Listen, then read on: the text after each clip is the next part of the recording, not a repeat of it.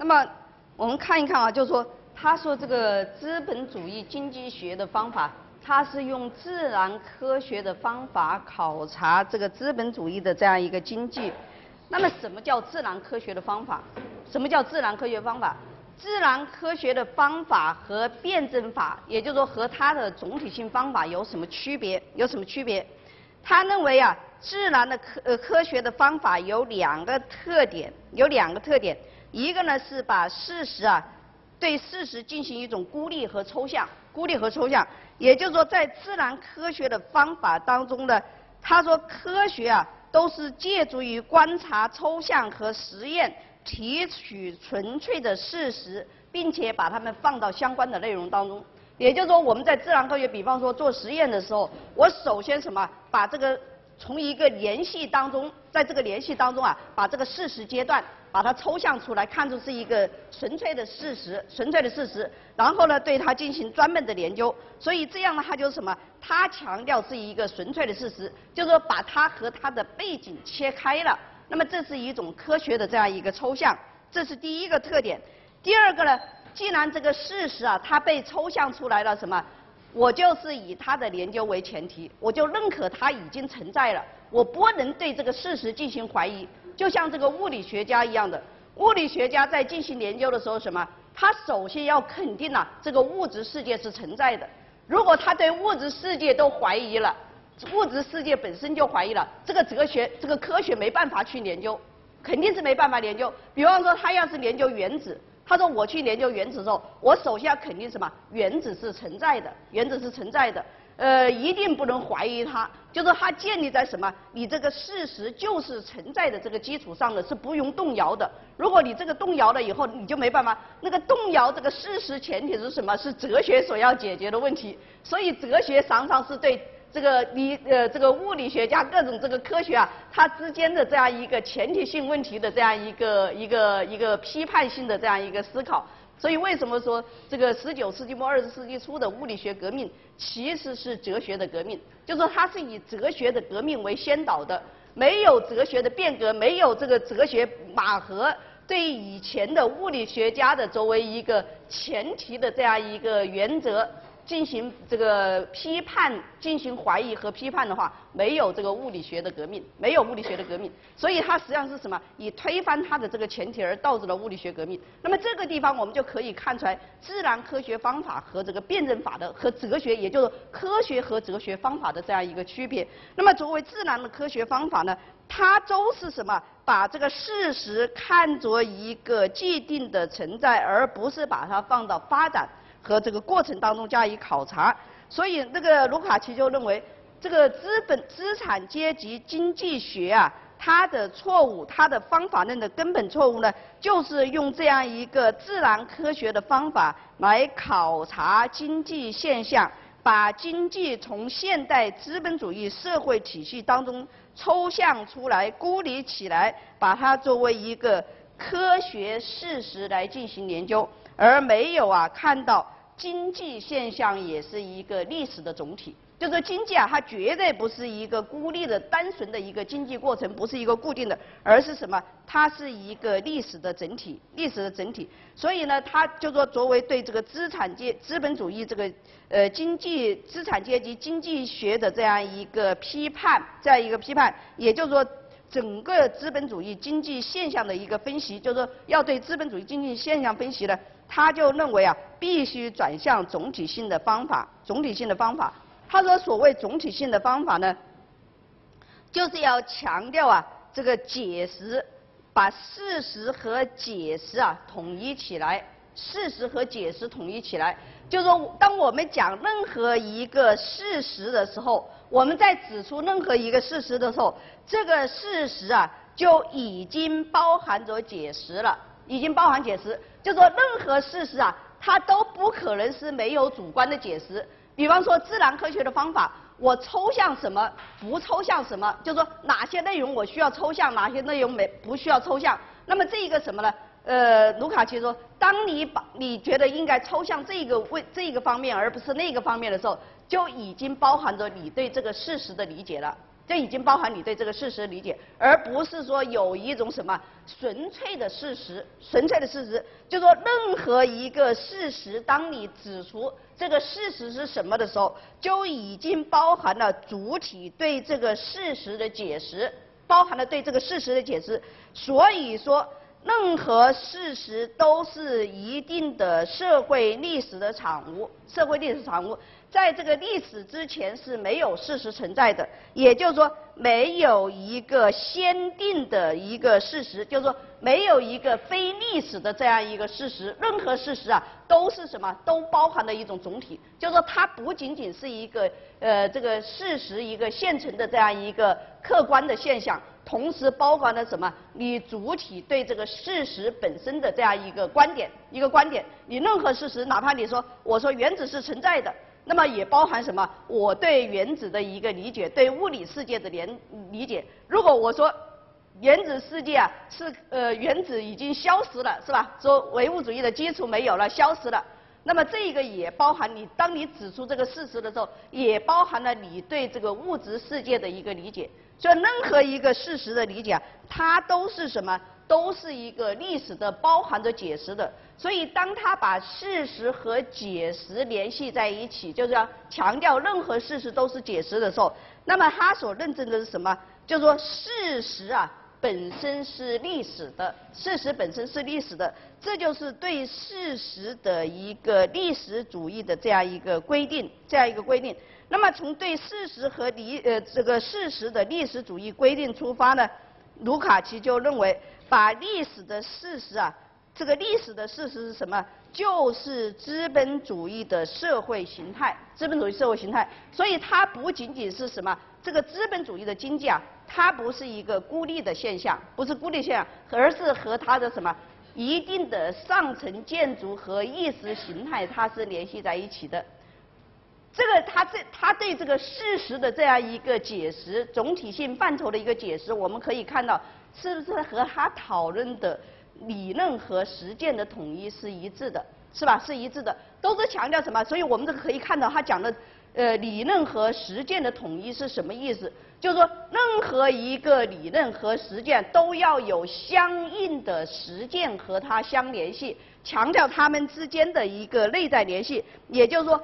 反对对任何的这样一个呃现象做一个任意的抽象，任意的抽象。你的理论不能是抽象的，你的实践也不能是抽象的，你经济也不能是抽象的，它一定都在什么一个社会形态里面，社会形态里面。所以这个时期的这样一个哲学啊，它是受了什么有机整体方法的一个强烈的影响，强烈的影响。所以强调什么？任何一种这个内容啊，任何一个内容啊。它都是具体的，它都是具体的，都是和它的特定的历史条件是相联系的。呃，事实是如此，思想意识的东西也是如此，也就是如此。这就是他所说的什么具体的、特定的这样一个含义，具体的、特定的含义。也就是说呢，马克思的历史辩证法，它不是一种任意的抽象，任何一种抽象什么？都是十分具体的特定内容的特定内容的这样一个形式，特定内容的这样一个形式。所以你任何一种理论呢，它都是包含着这样一个形式的。这个十呃二十世纪的哲学家对这个问题的，他是特别的强调。为什么这特别的强调呢？它包含着什么？对一种这个时期马克思主义理论的一种根本的理解，就说。对你是什么样的哲学家，是什么样的哲学家的一种理解，就是这个哲学家，我们说有两种啊，有两种我们讲的，一种是什么？对先前的理论呢进行一种删词，对先前已有的理论啊，我做一种删词，我是把它这个介绍出来。那么还有一种呢，他的理论的创造是从他的实践里面抽象出来的，也就是说，他是一种那种具有原创性的思想家，原创性的思想家。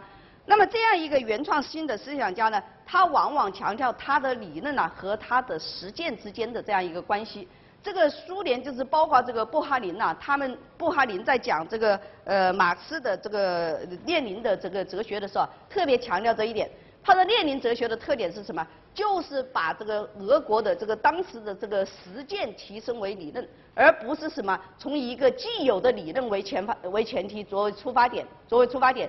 呃，其实这个问题呢，我们我我就是在研究这个马克思主义中国化的这样一个过程当中啊，呃，也是也是深有感受啊。就是说，如果我们把瞿秋白和这个毛泽东的这样一个理论进行一种对比研究的话，我们就会发现，这个瞿秋白他也分析这个中国的农民问题、中国的农民问题、中国的这样一个产业状况都做了分析，但是他的理论从哪来的呢？他的理论是从苏联列宁的新经济政策。就是说，列从苏联的这样一个理论来的，因为这个列宁呢，在这个俄国资本主义发展里面，因为他这个瞿秋白当时到这个苏联去的也只有二十三岁。二十三岁是一个很年轻的，而且对马克思主义也不熟悉，所以他对这个苏联的哲学里面呢，他没有分析，不知道普列汉诺夫、列宁呐、斯大林他们之间有什么什么这个思想关联，他认为都是一起的，都叫苏联哲学，他能够接受什么他就接受什么，然后他在这个接受的过程当中呢，他很大程度上因为这个二十年代那个时候啊，呃，苏联二三十年代正式兴起这个列宁思想的这样一个研究啊，那么他接受的这样一个思想。接受这个思想的时候，列宁其中有很多的思想，比方说对政治、经济、文化落后的这样一个俄国，他他这个进行无产阶级革命的这样一个这样一个道路的特殊分析啊，特殊道路的这样一个分析。呃，包含在这个呃农农民，就是说一个前资本主义国家是如何转变为资本主义国家，然后进到这个社会主义国家的，就是对这样一个思想的分析，他受了很大的影响。那么他就用这样一个列宁的这样一个理论呢，来分析中国啊。来分析中国的问题，说中国呢，它因为中国也面临的是一个农民的问题嘛，这个呃一个农民农业国家啊也面临问题，那么他就分析中国的农民状况，分析中国的这样一个呃工人的这样一个产业工人的状况，就是他做了很多的这样一个分析。那么这样一些分析，你可以看出来，他就是把这个苏联的这样一个理论，虽然他也参加了这个东西文化论战，但是他是运用这个理论呢来进行对这个中国问题的这样一个分析。那么毛泽东也是分析农民问题。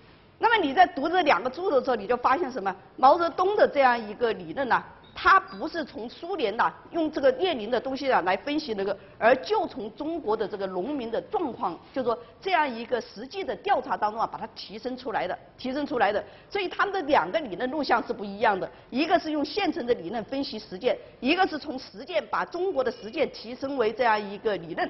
所以，这个毛泽东在这样一个分析当中就提出了中国革命的这个道路问题，就是不能走这个城市呃呃发展的这样一个这个城市夺取政权的道路，必须什么以农村包围城市。所以他得出结论是不一样的。这就是什么呢？讲的这样一个理论创造。所谓我我是用这个例子啊来讲什么呢？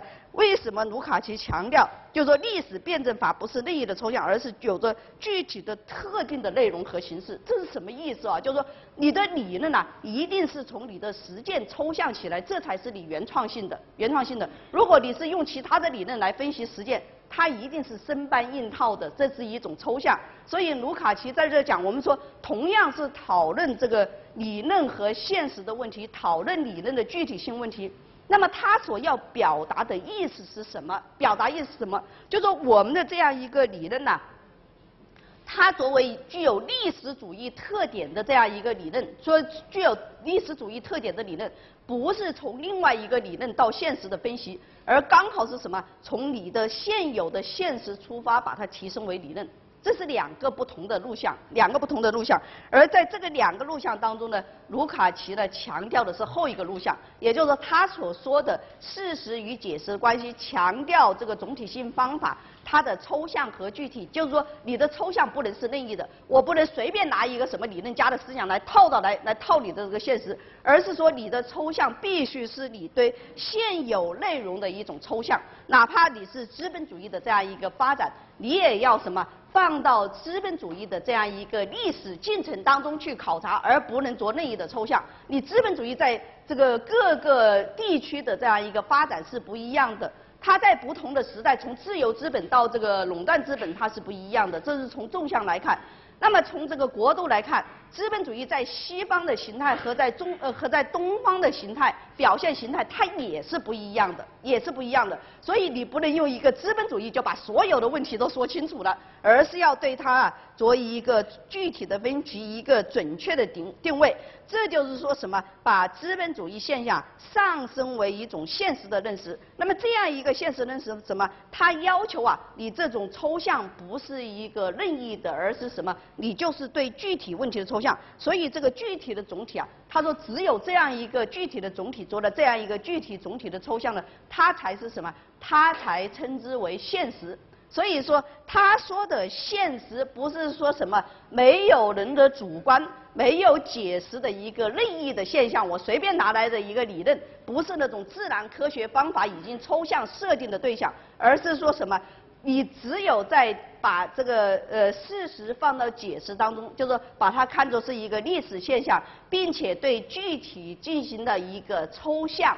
当你把这个具体、你的抽象和具体是一致的时候，有着具体的内容的时候，那么你才能说你把握了现实，这就是现实。所以现实不是自然科学的现实，而是什么？而是一种历史的这样一个方法，这样一个历史的方法。那么在这个地方呢，呃，所以他就强调啊，就这呃，正是在这个意义上，他强调啊，马克思呢是以他的辩证法呢是以一种历史的辩证法。是一种历史辩证法，这种辩证法它产生于资本主义社会，又对资本主义社会的具有批判性，具有批判性。这种批判性是来自于哪儿呢？来自于对资本主义本身的一种抽象，本身的抽象，就是说对资本主义这样一个现实的这样一个抽象。所以从这样一个区分出发啊，就是说呃，对这个资本主义现象出出发。所以这个嗯，卢卡奇就认为呢，马克思的辩证法是历史辩证法，而不能把它呃理解为自然辩证法。所以应该把马克思的这个呃，所以他就把这个历史辩证法呢和自然辩证法对立起来，从而也把马克思和恩格斯对立起来。他认为马克思呢讲的是一个历史的辩证法，而恩格斯呢是一个自然的辩证法，讲的是自然的辩证法，是一种实证的这样一个辩证法，是实证的辩证法。而这样一个实践辩证法呢。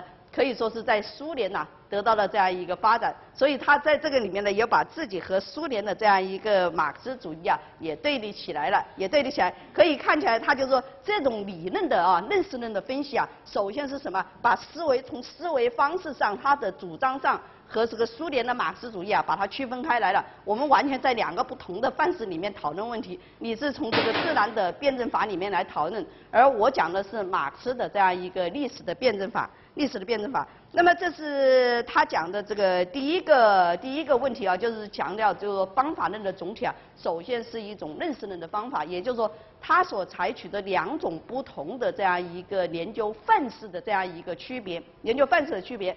那么第二个呢，从研究范式的这样一个区别，强调历史辩证法，我们讲了。它的历史辩证法是一个什么？是一个总体性的方法，总体性方法。而总体性方法讲的是主体的辩证法。那么这个主体的辩证法，它主要的讲的是什么呢？就是马克思的辩证法和黑格尔辩证法之间的这样一个关系问题。就是它表达了，就是作为主体的辩证法，它所表达什么？人的意识的创造性。就是这个辩证法呢，它不是研究的这样一个规律。因为我们前前面讲了总体性方法，它一个什么？一个是它的一个呃认识论的问题，认识问题，还有一个什么？阶级的行动问题。如果前面讲的是阶级的意识问题、认识问题，那么后面还有一个如何把你的意识转化为行动，也就是说意志的问题。那么在这个意志的问题上呢，实际上也是体现了什么？阶级意识的一个本体论问题，阶级意识的本体论问题。所以他讲的阶级意识，这样他对这个总体性方法的第二个含义呢，就是说表达人的意识的创造性的问题。表达人的意志的创造性问题呢，也就是马克思的这样一个辩证法的这样一个问题，辩证法的问题。所以在这个里面呢，它有一个对唯物辩证法的一个说明，对唯物辩证法的说明。我们对这个唯物辩证法的说明呢，我们来看一看它的这个定义啊，对它的这个定义啊做一点分析啊。我们来看看它是怎么来这个定义辩证法的。他说这个唯物主义的辩证法。是一种革命的辩证法，是一种革命的辩证法。这个当它定义为革命的辩证法的时候，讲的是一个什么？观念转化为行动的问题，观念转化为行动问题，就是说我如何把观念呢变成是一种行动。所以他强调，他说这个定义是非常重要的，是非常重要的，并且对于理解唯物辩证法的本质来说，还是还完全是非常关键的，非常关键的。那么为什么这样说呢？就是说，也就是说。这个把马把唯物主义的辩证法看作是一种革命辩证法，把它看作是意识转化为行动的这样一个意志研究啊，是辩证法的一个本质的东西，本质的东西，它是比什么？比我们前面讲的这个认识更为重要的方面。也就是说，整个辩证法的一个落脚点作为它本质的这样一个规定。他说，如果按照正确的方法来探讨这个问题，那么我在我们讨论辩证法之前，就必须要掌握这一定义。就说你要讨论什么叫唯物辩证法，理解什么叫唯物辩证法，你就要讨论这个定义。那么这个定义是什么？他说这个问题与理论和实践的呃实践的问题，不仅仅是马克思第一次批判黑格尔时所赋予的那种含义，理论已经掌握群众就会呃也会变成物质力量。此外，还需要从理论和掌握群众的方法这两个方面发现它的特征和定义。那就是说，前面他首先第一个就是理论掌握群众，就会变成这个物质力量。这是马克思啊，这是马克思在这个黑格尔法哲学批判导言里面的一段名言啊，一段名言，强调什么？强调这个意识形态。第一次啊，把意识形态啊，呃，就是强调这个哲学啊，应该包含意识形态，包含意识形态。那么他就说，除了这个含义以外，就说有这个呃阶级的这样一个行动含义以外，那么还需要什么？从理论和掌握群众的方法这两个方面发现它的这样一个特征和定义。那也就是说，你还得要要掌握。理论如何转变为群众？如何掌握群众的问题？不是说它可以自动掌握群众，而且要如何掌握群众的问题？所以你要必须啊，从理论和掌握群众的方法这两个方面，一个是理论，一个是掌握群众的方法，这两个方面来定义它。他说，正是这它的这种特征和定义，才把理论，也就是辩证法，转化转变成一个革命的手段，转化为革命的手段。这就说什么？方法的问题不仅仅是一个理论的认识问题，还有一种方法要研究什么？实践如何可能的？我的实践是如何可能？就说我对把这个有了正确的理论，我要把这个理论呐变成实践，那么这样一个环节，这种实践的环节的这样一个方法也是需要研究的。就说如何使这个呃这个理论呐转变成一种革命。变成这样一个革命，这个本身需要，所以他说我们必须从方法以及与其对象的关系中抽象出理论的实际本质来。如果不这样做，掌握群众就会变成一种空话。就是你要把这个他的这样一个实际的东西掌握出来，这是什么？你要是研究这样一个关系转化为实践，你就要什么？对阶级意识本身进行研究。我不能仅仅讲一个哲学理论一个抽象的概念，我要把什么阶级意识啊，要作为一个什么哲学的范畴啊来进行研究。什么是阶级意识的问题？什么是阶级？这就是他为自己啊确立的这样一个对象。他说，如果不是这样的话，掌握群众就变成了一句空话，掌握群众变成一句话，呃，群众呢就会被完全不同的势力所控制，从而失去呃去寻找完全不同的目标。他说：“如果那样的话，理论和群众的活动之间就不存在必然的联系，它会使群众能够意识到社会必然的和偶然行动的一种形式，呃，而并呃并不保证群众的意识和他们行动之间有一个真正的和必然的联系。就说你怎么去把你的理论和行动使这个群众啊？”去信仰你，去信仰你的理论，和你的理论保持一致，你就要研究什么？这个你从理论到呃行群众的这样一个行动之间的这样一个认识啊，你也必须要认识它，也必须要认识它。所以在这个地方呢，当他提出这样一个问题的时候，这样一个问题的时候，实际上就论述了什么？马克思的辩证法和。呃，黑格尔的辩证法的这样一个区别和黑格尔辩证法的区别。